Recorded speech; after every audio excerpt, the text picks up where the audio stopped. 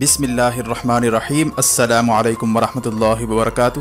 بالآخر بلی تھیلے سے باہر آ چکی ہے اور چائنا اور انڈیا کے درمیان لداخ اور دیگر جگہوں پر ہونے والی جھڑپوں کے بعد انڈیا اس قدر پریشان ہے کہ اس کے جرنیلوں نے چائنا سے درخواستیں کرنا شروع کر دی ہیں کہ وہ تھوڑا سا کمپرومائز کر کے اپنی پوزیشن سے واپس پیچھے ہٹ جائیں۔ لیکن تازہ ترین اطلاع کے مطابق چائنا کے سرکاری اخبار گلوبل ٹائمز نے انڈیا سے کہا ہے کہ وہ بھول جائے کہ ساٹھ کلومیٹر کا علاقہ جو چائنا نے حاصل کیا تھا وہ اسے مل جائے گا۔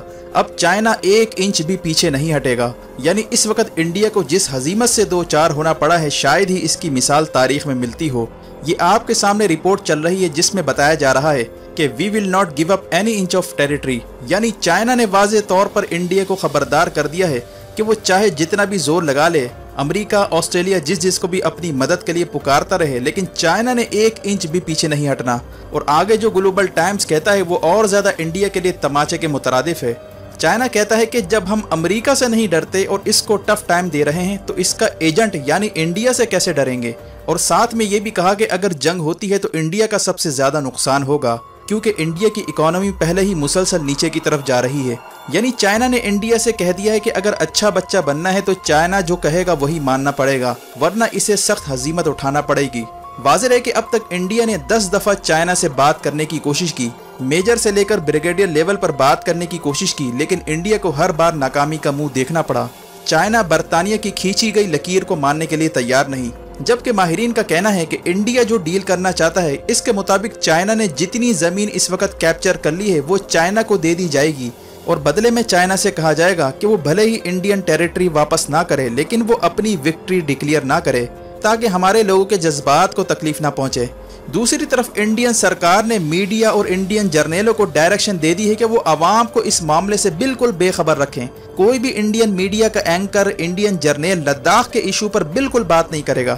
یعنی کل ملا کر نتیجہ یہ نکلا کہ انڈیا نے اپنی ساٹھ کلومیٹر کا رقبہ چائنا کے حوالے کر دیا ہے اور چائنا کا قبضہ انڈیا نے تسلیم کر لیا ہے۔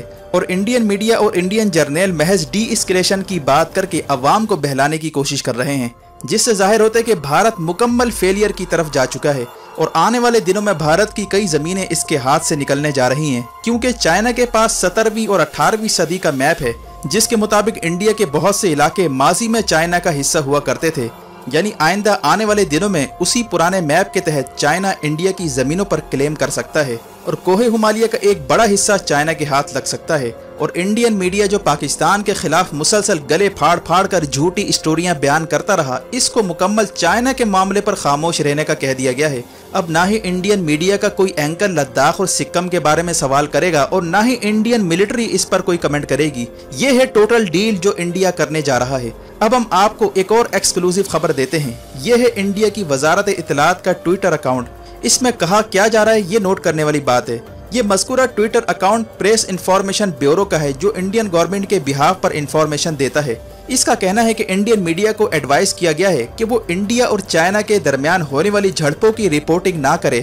اس سے دونوں ملکوں کے تعلقات کشیدہ ہو رہے ہیں۔ لہٰذا اس کے متعلق خبریں نہ پھیلائی جائیں۔ اب سوال یہ پیدا ہوتا ہے کہ ساٹھ کلومیٹر کا رقبہ انڈیا کے ہاتھ سے نکل گیا۔ آخر اس کو کیوں نہ ڈسکس کیا جائے؟ آخر انڈین سرکار اپنی عوام سے اتنی بڑی شکست کیوں چھپا رہی ہے؟ اور انڈین میڈیا کو رپورٹنگ سے کیوں روکا جا رہا ہے؟ یہ ٹویٹ گویا انڈیا کی بہت بڑی شکست کا اعتراف ہے۔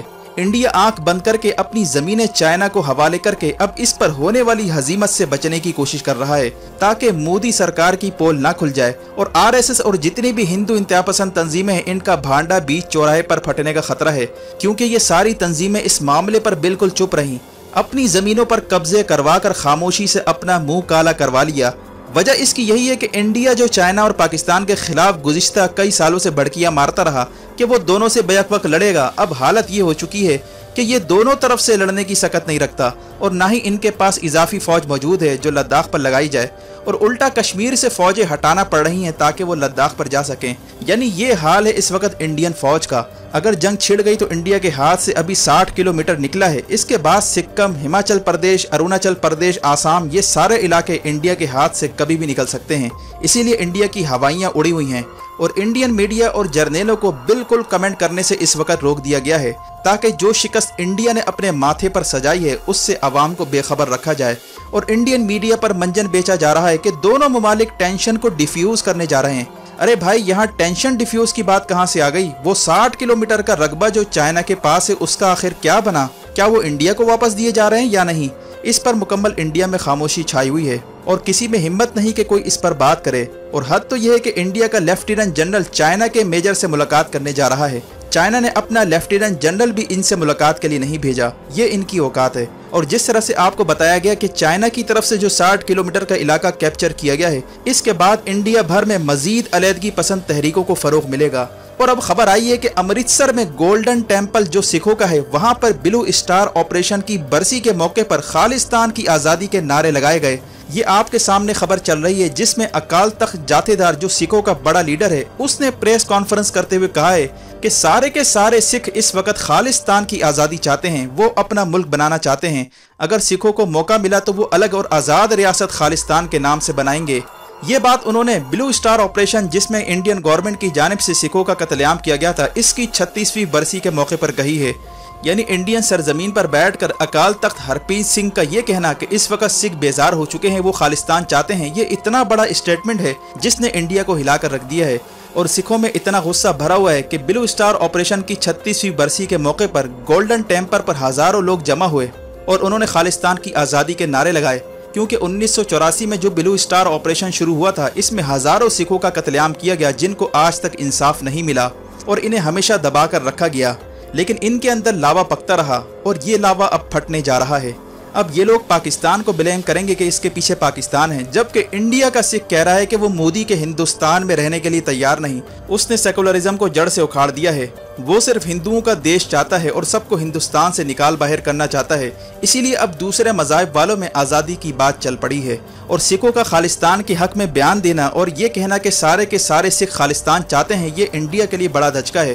یعنی آنے والے دنوں میں سکھوں کی ایک بڑی تحریک بھارتی پنجاب میں شروع ہونے جا رہی ہے اور دو ہزار بیس میں سکھوں نے آزادی کے لیے ریفرنڈم کا بھی اعلان کر رکھا ہے، جس کے بعد سکھوں کی آزادی ایک نئے لیول پر جا پہنچے گی۔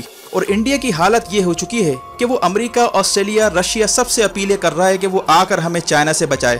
لیکن سب نے انڈیا کی اس معاملے میں کسی قسم کی مدد سے معذرت کر لی ہے۔ اور رشیا نے تو صاف انکار کر دیا ہے کہ وہ چائنا کے خلاف انڈیا کا بالکل ساتھ نہیں دے گا۔ اس کے بعد یہی انڈین میڈیا خبر اڑاتا ہے کہ انڈیا، رشیا کی بجائے فرانس کو اپنا پارٹنر بنانے جا رہا ہے۔ یعنی انڈینز کا یہی وطیرہ رہا ہے کہ پہلے بلیک میل کرنے کی کوشش کرتے ہیں اور ناکامی کی صورت میں اسی شخص کے پیر پکڑ لیتے ہیں۔ پہلے یہی لوگ چائنا کے خلاف آسٹریلیا کے ساتھ الائنس بنانے جا رہے تھے، جس میں ناکامی ہوئی۔ اور یہ بھی کہا کہ انڈیا اور آسٹریلیا میں ایک دوسرے کے اڈے استعمال کرنے کا معاہدہ ہوا ہے، لیکن اس کا بھی کوئی فائدہ نہیں۔ کیونکہ اس طرح کا معاہدہ انڈیا اور امریکہ کے درمیان بھی ہو چکا ہے، لیکن چائنا کو اس سے کوئی فرق نہیں پڑا۔ اصل سوال یہ ہے کہ کیا آسٹریلیا یا کوئی اور ملک انڈیا کی فوجی مدد کرنے کے لیے تیار ہے یا نہیں؟ کیونکہ کوئی ملک انڈیا کی مدد کے لیے نہیں آ رہا، اسی لیے اسے چائنا کے آگے گھٹنے ٹیکنا پڑ رہے ہیں۔ اور چائنا نے پہلے ہی کہہ دیا ہے کہ وہ ایک انچ بھی واپس نہیں کرے گا۔ جبکہ مودی صرف اسی پر خوش ہے کہ چائنا وعدہ کر لے کہ وہ انڈیا کی مزید پھینٹیاں نہیں لگائے گا۔ اور جہاں ہے وہی رہے گا۔ اسی طرح انڈیا نے اپنا تھری اسٹار جنرل بھیجا ہے، وہ بھی چائنا کے ٹو اسٹار جنرل سے ملنے کے لیے۔ یہاں بھی انہیں مزید حزیمت سے دوچار ہونا پڑا۔ اب انڈین میڈیا کی صورتحال یہ ہے کہ وہ مودی کی آؤ بھگت میں مصروف ہو گیا ہے اور چائنا کے معاملے پر جو اسے بدترین شکست ہوئی ہے، اس پر پردہ ڈالنے کی کوشش کر رہا ہے۔ اب انڈین میڈیا کی مزاق خیز رپورٹنگ ذرا چیک کریں کہ کس طرح انڈین میڈیا مودی کی شکست پر پردہ ڈال رہا ہے۔ چین خود کو ہاشیے پر کھڑا محسوس کرنے لگا اور اس کے سر اچانک نرم پڑ گئے۔ چین بات چیت سے معاملہ سلجھانے کی بات کرنے لگا۔ بھارت نے صاف کر دیا ہے کہ وہ تیسرے پکش کی مدھیستھتا نہیں چاہتا۔ لیکن لداخ میں چین کی دادا گیری بھی چلنے نہیں دے گا۔ بھارت کے رخ سے صاف ہے کہ وہ چین سے اپنے سیما وواد کو اپنے دم پر حل کر لے گا۔ لیکن امریکہ کے کھلے سمرتھن سے چین پر دباؤ بڑھ گیا ہے۔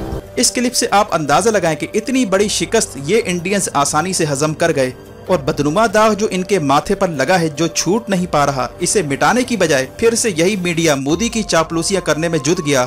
اس بے ضمیر اور دغاباز انڈین میڈیا کے ہوتے ہوئے شاید ہی کسی ملک کو انڈیا پر چڑھائی کرنے کے لیے فوج کی ضرورت پڑے۔ کیونکہ یہی انڈین میڈیا اور نریندر مودی کی سرکار اپنی عوام کو جھوٹا خواب دکھا دکھا کر اپنی عوام کو خوش کرتی رہے گی اور اپنی زمینوں پر قبضے کرواتی رہے گی۔ یہ ایسا ہی ہے جیسے پلوامہ کے بعد بھارت کو بدترین شکست ہوئی۔ بھارت کے کئی جہاز مار گرانے اور کئی بھارتی فوجیوں کو ٹھکانے لگانے کے بعد انڈین میڈیا نے اپنی شکست پر پردہ ڈالنے کے لیے مہم چلائی۔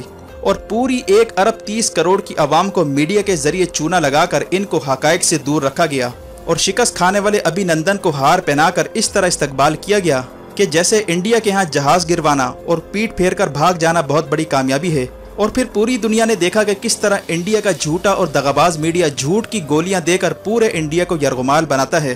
اور اسی جھوٹ کی کوک سے مودی پھر سے الیکشن میں سیاسی جنم لیتا ہے اور تاریخ ثابت کرے گی کہ مودی جو گہرے زخم انڈیا کو دینے جا رہا ہے، وہ بلاخر انڈیا کی تباہی پر منتج ہو سکتا ہے۔ ویڈیو دیکھنے کا شکریہ۔ اپنا اور گرد و نواح کے لوگوں کا خیال رکھیں۔ فی امان اللہ۔